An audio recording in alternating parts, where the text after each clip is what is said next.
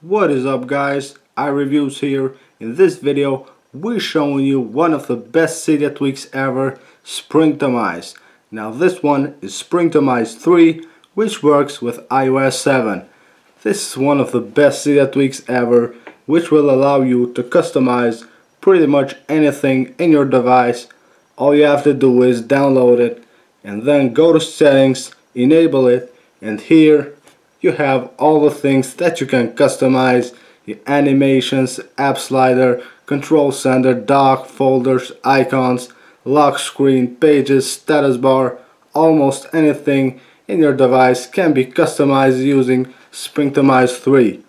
As you see here, let's take a look at some of them. Here we have animations. You can set a custom speed for iOS 7 animations.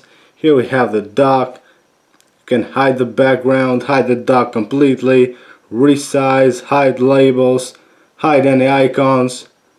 We have here icons, you can hide the updates, disable the uninstall.